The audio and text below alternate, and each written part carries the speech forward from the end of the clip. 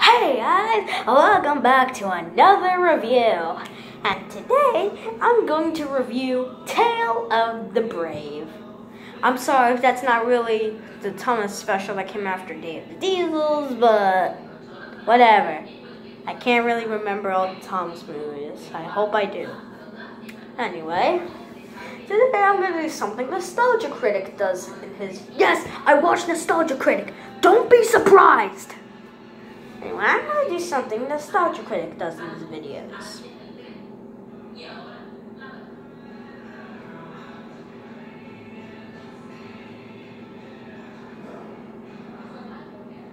Mostly, if he doesn't have footage of a video, he just doesn't does himself.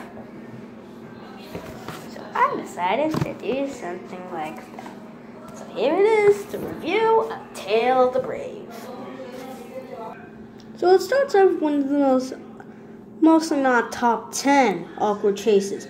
When Thomas chases either Bill or Ben, I don't know, it's been a long time since I watched the movie. Ha! We're gonna get you now, Bill or, or Ben? It's Bill! Yeah, whatever, I don't really care. I had nothing to say when I saw that chasing.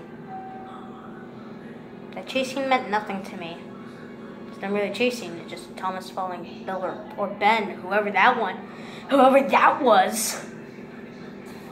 Later, Thomas meets an engine named Timothy who is pulling the same train as him, train as him, which is also a top 10 weirdest character meetings. Timothy? Thomas? No, literally. I felt that that was awkward. Later, Thomas stumbles upon some footprints during a rainstorm. Oh my god! When either Bill or Ben pushes them out of the way from the falling rocks. Don't. That's not really something Bill or Ben would do. They were just like, nah, we just leave them to die. Mm, They're just, they're just like, nah, we're leaving to die. We don't really care about our friends. We only care about ourselves. We don't care about others. Nah, let's just leave them out to die. We don't care. Later, Thomas speculates who could have made those footprints, but literally, Percy literally freaks out.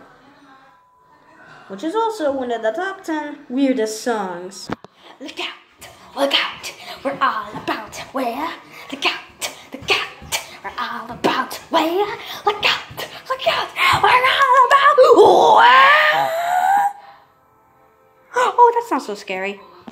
Later, Percy runs into a ghost. Who is surprisingly actually an engine who's named Gator.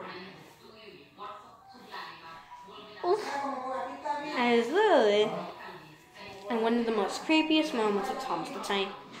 it's a ghost! There's a ghost! Run for your life! Eee! What the heck was that? Eh, you're gonna have a character freak out about a ghost and then realize it's just a character you decide to put on screen. And they're actually terrifying. Like, they're actually terrifying. Halloween, which I still owe you a, which I still owe you a review of. No, including millions of Trackmaster TAHBF episodes.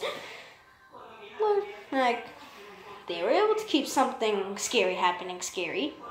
Why can't this film? If it's literally called Tale of the Brave, focusing on engines being brave, it doesn't make sense. Later, people from the China Clay Pits quote that there are no monsters there, and Percy doesn't believe Thomas anymore, and they break up the friendship. It's about time. Well, Percy becomes Gator's new best friend, which was AKA the ghost that Percy saw. Later, like, Thomas just like. Percy's not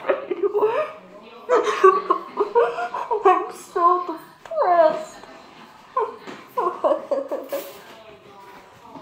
Later, Gator has to be sent away back to his original railway because not technically he's not technically he was actually is actually something that the Fat Controller needed for a while, and is like, oh, can I borrow? Oh, excuse me, um, can I borrow an engine for a second? Oh, why do you need one of our engines? Well, you see, I have so much work on my railway that I'm gonna need another engine. And which one do you want? There's one that looks like a crocodile. I'll take that. What? I'll take the one that looks like a crocodile. But dude, he hasn't been fully formed. I don't care! Just give it to me! Give it to me! Give it to me! Give it to me! Give me something you have! Okay, I could give you this engine. Uh, just, just, uh, just, uh, face, uh, that make a slender,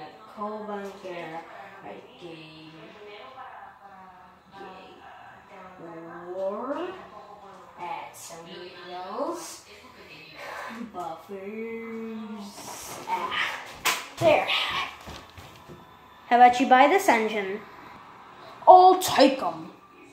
Excellent. I'll find this engine right away. Ugh.